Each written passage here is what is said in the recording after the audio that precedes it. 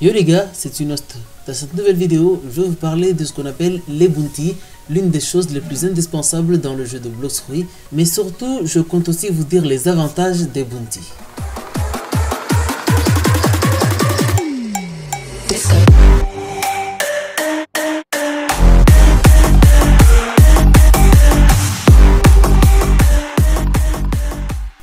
Que vous allez commencer le jeu, en tuant deux mobs, vous pouvez obtenir des bounties jusqu'à ce que vous arrivez à 250 000. Et à partir de 250 000 bounties, vous ne pouvez plus tuer des mobs parce que vous n'allez plus avoir des bounties. Vous serez obligé de tuer des boss afin d'augmenter vos bounties jusqu'à ce que vous atteigniez les 2,5 millions de bounties.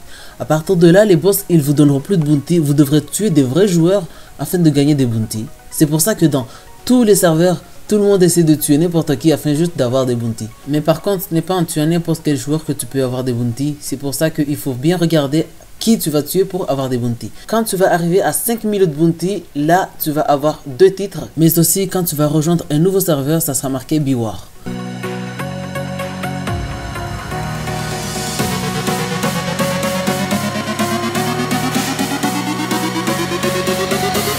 Donc tu auras les deux titres qui est le premier qui sera Bounty Hunter.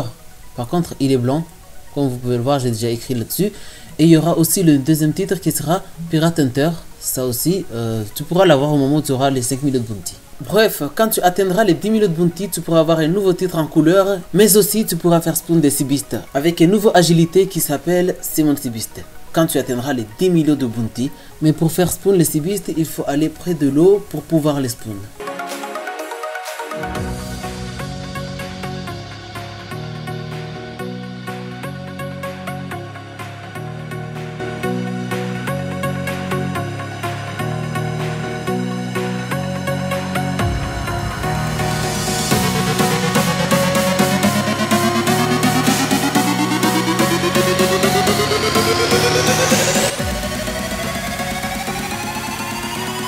Contre, les cibistes qu'on peut faire spawn, ce n'est pas des vrais cibistes, mais c'est des fake cibistes car ils n'ont pas 100 000 HP, mais ils ont juste une petite quantité d'HP.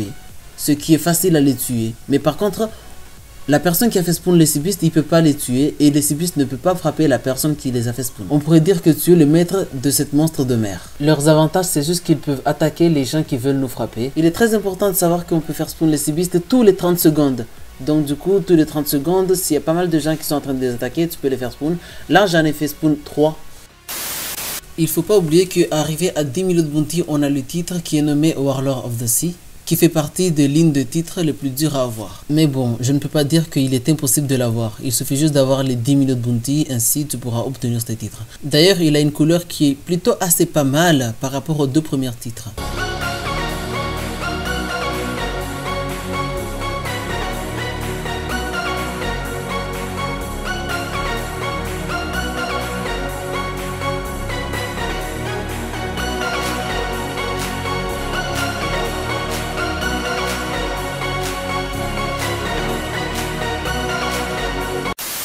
Quand tu vas arriver à 15 millions de bounty, tu vas rien avoir de spécial, à part que quand tu vas rentrer dans un serveur, ça sera marqué A God has joined, ce qui signifie que un dieu vient d'arriver dans le serveur.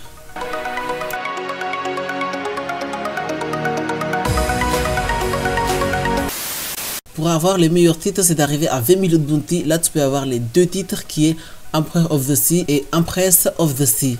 Ce qui signifie que l'empereur des mers et l'impératrice des mers.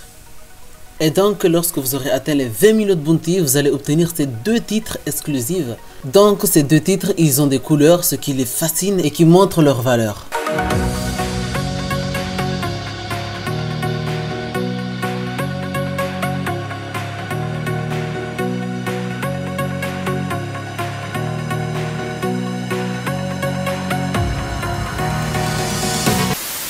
Maintenant, je vais vous parler de la vraie raison pourquoi les gens font tout pour avoir des bounties. En vérité, ce n'est pas vraiment juste que pour les titres, mais il y a aussi autre chose qu'ils ne vous ont pas dit. Il s'agit de ce qu'on appelle les boosts. En fait, il faut savoir que les bounties, ça donne des boosts. Plus tu as des bounties, plus tu auras beaucoup de boosts. Il y a des boosts défensifs et les boosts de dommages.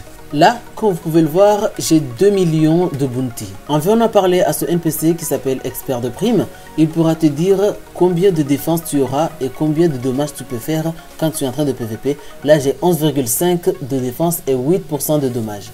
Tout simplement parce que mes bounty, c'est ce que ça vaut. Et maintenant, j'ai pris en compte d'une personne qui a 5,7 millions de bounty, c'est Brook. On peut remarquer qu'il y a un changement car tous les 500 000 bounty, ça augmente les boosts petit à petit. Et donc j'ai décidé de vous montrer quelques boosts sur certains bounties.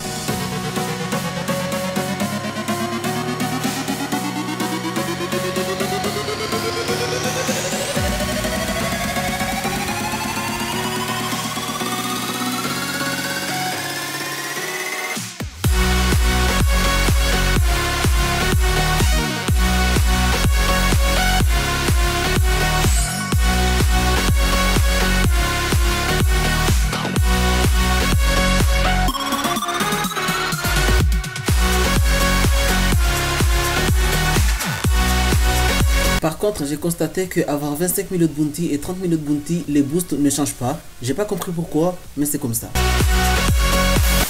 On va encore revenir sur les avantages des bounty. Si tu crées un équipage et que tu mets beaucoup de membres qui ont max bounty, mais aussi il faut ajouter aussi le maximum de membres possible afin que votre équipage puisse être dans le top 10 des équipages internationaux. Par contre, ça prend beaucoup de temps pour y arriver. One eternity later. Au moment où ton équipage fera partie des top 10 des équipages internationaux, tu auras un titre qui s'appelle Pirate King. L'une des titres les plus complexes à avoir dans ce jeu. Mais aussi sans vouloir le cacher, c'est le plus beau titre qui se trouve dans le jeu parce qu'il a une couleur très très très différente des autres titres.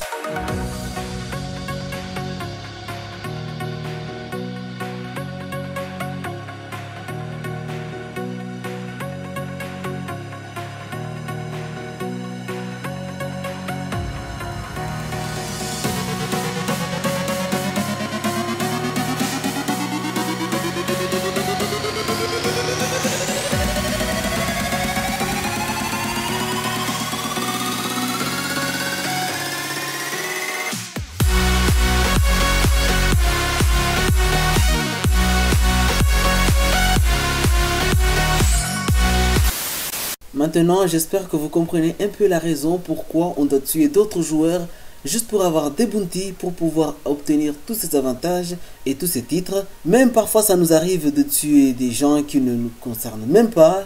On tue n'importe qui, dès qu'on le croise, on le tue. Cependant, j'espère que vous comprenez un petit peu pour quelles raisons vous faites tuer dans les jeux sans raison. J'espère au moins que ça va vous motiver à pouvoir chercher des bounties en tuant n'importe quel joueur. Enfin, espérons que vous allez y arriver. J'avais oublié de vous dire qu'on ne peut pas avoir trois fois de bounty sur un même joueur. Dès qu'on a tué un joueur trois fois, on ne peut plus avoir des bounties sur lui. Vous devrez attendre 72 heures, c'est-à-dire 3 jours pour obtenir des bounties sur lui. En revanche, si vous voyez que c'est marqué prime ou bounty à risque et que vous mourrez, par contre, vous allez perdre vraiment beaucoup, comme vous pouvez le remarquer. Et là, je vais vous montrer quelques moments qui sont pas très agréables, que vous pouvez voir que on perd des bounties et ça fait tellement mal au cœur quand on perd des bounties de cette manière.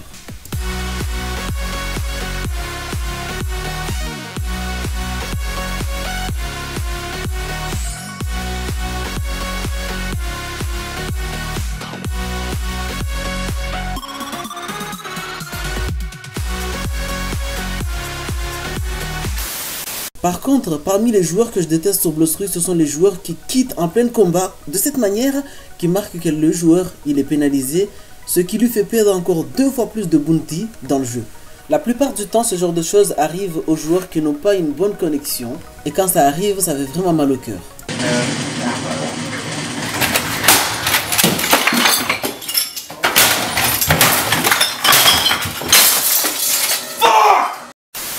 Bon, maintenant c'est la fin de cette vidéo. J'espère que cette vidéo vous aura appris des choses. S'il y a des choses que vous savez et que j'ai oublié de les mettre là-dessus, n'hésitez pas à les écrire en commentaire. Je lis tous les commentaires, mais sauf que parfois c'est un peu très dur de tout répondre. Mais j'essaye au minimum de répondre. Sur ce, on se retrouve dans une prochaine vidéo. Surtout, n'oubliez pas de lâcher un maximum de pouces bleus et une continuité de commentaires.